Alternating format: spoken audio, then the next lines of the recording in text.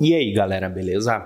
Então, hoje eu resolvi falar um pouquinho sobre o minimalismo, porque recentemente muita, muitas pessoas têm comentado aqui no canal, né? Aquele vídeo que eu fiz sobre as 12 coisas que eu não compro mais.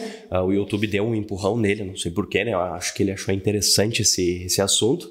E muitas pessoas vêm, vêm comentando sobre a questão do minimalismo, que tal coisa não é minimalismo e tal, algumas atitudes. E eu resolvi esclarecer um ponto que as pessoas criam muita confusão em cima, que é exatamente uh, qual é o sentido do minimalismo, né? E a principal coisa que as pessoas não se dão conta é que o minimalismo ele é mental. O minimalismo não é uh, o físico. Se eu for falar para você agora uh, o que, que é a primeira coisa que você tem que mudar se você quer viver uma vida minimalista, uma vida mais simples, você vai pensar, sei lá, no seu quarto que tem muitas roupas ou no seu na sua cozinha. Você vai pensar primeiro na parte física, mas é aí que, que mora o perigo, né? Porque tem que começar daqui. O primeiro passo é sempre se autoanalisar, pensar nas coisas que você faz, uh, por que você faz as coisas que faz, uh, se tem algum sentido, se essas coisas que você faz na sua vida trazem um resultado que vai condizer com os seus valores, né? Por exemplo, eu trabalho, faço tudo que eu faço na minha vida em função da minha família, né? Para passar mais tempo com elas, eu trabalho menos para ficar mais tempo com elas, eu trabalho para pagar as contas, para prover conforto para minha família. Então, tudo que eu faço é em cima disso. E, e o que é um pouco confuso porque as pessoas confundem o, o pinho com regras. Tipo assim, uh, se eu faço um vídeo, ah, eu não compro tal coisa, uh, as pessoas acham que aquilo é o minimalismo. Mas não, isso é o meu minimalismo. Uh, por exemplo, eu comprei um celular de flip, né, que eu estou usando agora recentemente, que eu uso fora de casa, é porque eu acho legal e eu não preciso andar com um smartphone. Eu tenho um smartphone ainda porque eu tenho drone, eu tenho outras coisas que uh, só o smartphone serve, né? E também uso para responder o Instagram, que no computador é terrível. Para aplicativo de banco, essas coisas, autorizar pagamentos, faço tudo por aqui. E, mas enfim, esse é o meu minimalismo. E como eu já falei aqui recentemente, as pessoas acham que minimalismo é não ter nada. Mas é de fato ter tudo que te faz feliz, que faz sentido para você. Então, é, é, muito complexo essa coisa de se espelhar em outras pessoas, olhar o que as pessoas estão fazendo e querer replicar porque cada pessoa vive uma vida diferente, cada pessoa mora em uma cidade diferente, mora em uma casa diferente, tem um trabalho diferente. Então, o que se aplica a mim não se aplica às outras pessoas diretamente. O que se aplica é a mentalidade. É pensar mais antes de comprar as coisas, analisar o porquê você tem as coisas que tem, se elas fazem sentido porque, como eu já falei, as coisas são ferramentas. Então, você tem um fone de ouvido, por exemplo, ele serve um propósito. E se você tem uma ferramenta que não tem uso, não tem por que você ter ela, manter ela na sua vida.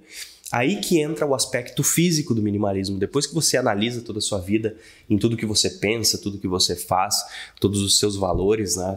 Para ver se você está indo no caminho certo na sua vida. Aí você para para analisar o seu espaço físico, né? Que é uma externalização da sua mente. Tudo que a gente tem uh, é uma parte externa da, dos nossos pensamentos, dos nossos gostos, né, das nossas preferências. Então o pessoal acha assim que ah, o Pim vive numa bolha branca lá, uh, sem cor, que coisa mais triste, depressiva e tal. Mas não é assim, cara, não tem nada a ver. Eu uso camiseta cinza e preta por gosto. Isso é uma questão de preferência pessoal, né? Porque eu já falei, eu trabalho com moda há anos já. Então, eu fui filtrando as coisas até chegar num ponto assim, tipo, cara, não preciso mais pensar para me vestir, tudo que eu tenho é legal e tal. Tanto que eu até tava comentando com o pessoal no grupo do Telegram sobre isso.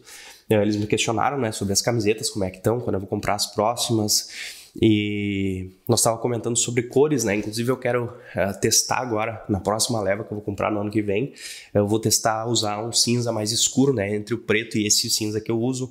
E eu quero comprar um marrom e um verde musgo também para fazer uh, essa, uh, esse teste nos tons da natureza, né? Essa coisa mais tons terrosos, tons de verde e tal. Porque eu acho interessante, são são tons que combinam com tudo, mas ainda assim são simples e eu, e eu consigo uh, uh, encaixar no meu estilo, né, em tudo que eu já tenho. Então, sempre que você pensar na palavra minimalismo, pensa uh, no que faz sentido para sua vida. Não simplesmente pensa, não, é aquilo lá, é aquelas regras lá. O Pinho falou que não pode fazer isso, ou isso e isso, ou tal pessoa falou que não pode ter uh, um carro caro, não pode ter um iPhone, ou tem que ter tal coisa. Minimalismo não tem a ver com coisas, uh, não tem regras de do que você deveria ter, exatamente porque, como eu disse, cada um tem uma vida diferente. Então, não tem como mandar você, que é, sei lá, contador, ter um iPhone por causa da câmera, que é uma câmera especial que você vai usar para trabalhar, sendo que o cara não vai usar, ele não vai ter uso. Não vai porque ter aquela ferramenta. Assim como para mim, não vejo sentido em ter um carro de 100 mil reais.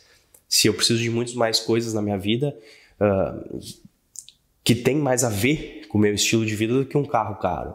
Uh, a mesma coisa um celular. Eu não tenho um celular caro porque eu tenho uma câmera boa, entendeu? Então eu tenho um computador bom. Então tem muita gente que não tem câmera, não tem computador, vai lá, investe no celular e faz tudo pelo celular. Então, está adaptando para sua própria vida. E isso que é interessante, é escutar opiniões das pessoas sobre determinados assuntos e aplicar na sua própria vida com inteligência, né? Não escutar a risca, ir lá, imitar o que uma pessoa faz e, e não ficar satisfeito, porque você não vai ficar satisfeito. Se você fizer tudo que eu faço hoje na minha vida, ter tudo que eu tenho, pode não servir para você, porque a gente não vive a mesma vida. E eu sou pai, eu não tenho tanto apego mais às coisas. Eu tenho apego à minha filha, simples, minha filha e minha esposa. Uh, e, e a minha família, né? Meu pai, minha mãe, minha irmã, meus animais. Mas as coisas que eu tenho, elas não importam. O pessoal fica assim, ah, que vida triste. Tá, mas, cara, minha vida é linda. Porque eu tenho uma filha. Eu não tenho mais, tipo, eu não sou mais como antigamente que eu olho assim, nossa, que celular incrível, e fico louco. Por quê? Porque eu tenho uma filha, eu acordo todos os dias, eu olho para ela, brinco com ela e fico assim, tipo, cara, não preciso de mais nada. Então, tudo que eu falo aqui para vocês são dicas, são opiniões, mas o mais importante que eu quero sempre passar aqui, eu vou frequentemente fazer uh, esse vídeo de novo para sempre estar tá lembrando as pessoas, né, que o minimalismo vem da mente. Uh, a gente tem que filtrar tudo que a gente faz, tudo que a gente compra, uh, ah, para saber se a gente está no caminho certo, porque não adianta a gente viver a mil por hora para chegar lá na frente e ver que a gente pegou o caminho errado. É, a gente tem que voltar todo o caminho, só que na vida não tem volta. O tempo que a gente gastou a gente não consegue de volta. Não é a mesma coisa que você acelerar por 10 km, depois voltar e fazer outro caminho. Você não tem mais esse caminho de volta porque queimou, o tempo acabou. Então, viver um pouco mais lento nessa, nessa onda do minimalismo, né? entender e, e analisar o que você está fazendo é muito importante por isso. Uh, Para primeiro aprender sobre si mesmo, ah, sobre o que é importante para você, né? É, porque tudo que a gente faz tem uma razão, né? Então a gente tem que entender essas razões e o porquê que a gente está fazendo as coisas para saber se a gente continua, para saber se a gente realmente precisa ter o que tem, viver onde vive, comer o que come. Então é uma questão de análise. Minimalismo ah, se você puder anotar o minimalismo como algo, minimalismo é uma análise da própria vida. É parar de viver no automático e parar de viver uh, conforme a mídia manda a gente viver, conforme a tradição manda a gente viver, né? Vai para faculdade, arruma um emprego bom, ganha dinheiro, passa tempo longe da família, para comprar um conforto para a família, sendo que esse conforto não importa se você não tiver dentro desse conforto. Então, toda essa história tradicional que a gente tem uh, do ser humano, ela é questionada através do minimalismo. E é simplesmente isso. E e é uma mudança que não tem volta. Uh, as pessoas perguntam, ah, e, e, não vai enjoar e tal, que é modinha. Modinha é a questão visual. Como eu já falei, uh, é o aspecto visual do minimalismo, né? Aquela moda nórdica e tal. Tu olha as casas uh, tudo branco, com madeira e tal. Aqui, por acaso, o meu escritório é branco com madeira, com, com, com preto, porque eu fiz assim, é onde eu trabalho. É onde eu mostro para vocês aqui os vídeos. Então eu montei esse espaço para isso. E, mas o resto da casa aqui da minha mãe é uma casa normal. A minha casa, lá vocês forem ver, é uma casa normal. Já mostrei no vídeo, vou deixar o vídeo aqui no card. A minha casa é uma casa super normal, tem cores, tem tudo. Por quê? É uma casa normal. Eu tenho as coisas que eu preciso ali. O pessoal me questionou esses dias sobre o meu carro, né? Eu vou fazer semana que vem. Meu carro tá na oficina, vai voltar semana. E vou fazer um vídeo para a próxima semana sobre ele, sobre minimalismo no carro, né? É a relação de um minimalista com o carro. E me perguntaram, ah, mas Pinho, a gente vê tu aí gosta de, de cinza, tons monocromáticos e tal, não sei o que, e tem um carro vermelho. Eu fiquei pensando, cara, eu preciso esclarecer isso com as pessoas, porque não tem a ver com cor. Não é, ah, eu, eu só vou ter um carro se o carro for branco. Não, eu vou ter um carro que satisfaça as minhas necessidades. Eu tinha um carro 1998 e eu vendi ele para comprar esse Clio. Eu tenho tanto dinheiro na mão, vou lá vou procurar um carro com esse valor que tem ar condicionado, tem um porta-mala grande, tem um espaço para minha família ficar confortável. E foi isso que eu fiz, foi lá comprei o carro e deu. É vermelho, mas serve. Ele ele cumpre o propósito.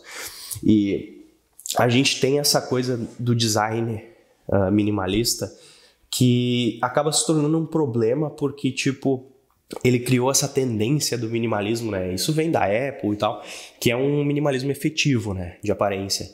Mas muita gente vai pela aparência primeiro. Só que a, a, o importante é procurar a função antes da aparência. Então, se você está procurando um fone de ouvido, você não vai na loja e olha o mais bonito. Você primeiro testa os fones de ouvido e ver qual é melhor. E depois você vê se tem uma opção um pouquinho mais bonita, porque se for bom e bonito, tá show, tá ótimo. Mas se não tiver uma opção bonita, pega a feia mesmo e usa, porque cumpre a função. E é exatamente isso que o minimalismo tem a ver, né? Uh, e... Mas então, não quero me alongar muito nesse, nesse assunto. Uh, espero que vocês tenham gostado do vídeo hoje. É um vídeo que eu queria fazer há um tempinho já. E tanto que eu não botei firulas aqui nem nada, edições e tal, porque eu quero ser mais direto, não tô querendo mostrar uh, o que deve ser, né? Uh, os cenários e tal, aquela coisa. Uh, o minimalismo é uma coisa bem direta e bem simples. Então eu espero que vocês tenham entendido um pouco melhor essa filosofia, né? Esse modo de pensar. Porque é exatamente isso. É uma mudança de mentalidade. minimalismo é mental Uh, se você for pensar em minimalismo, bota a palavra mental do lado que você vai entender a filosofia. E se você gostou do vídeo de hoje, não esquece de comentar aqui embaixo o que você achou e também deixar o seu like, porque assim você ajuda mais pessoas a terem uma vida mais tranquila e mais descomplicada. E se você não conferiu ainda, eu criei uma campanha no Apoia-se para quem quiser apoiar o canal aqui, meus novos projetos para 2020. Uh, se você puder ajudar, tudo certo. Se não puder também, tudo tranquilo. E também se inscreva no canal da Carol, Tá muito bacana, estamos soltando os vídeos da cozinha minimalista por lá agora, né? Porque eu acho que faz mais sentido. E também o meu canal de games aqui embaixo, Pinhoco Games, e as minhas redes sociais. Então espero que vocês tenham uma boa semana e a gente se fala logo mais, galera. E valeu!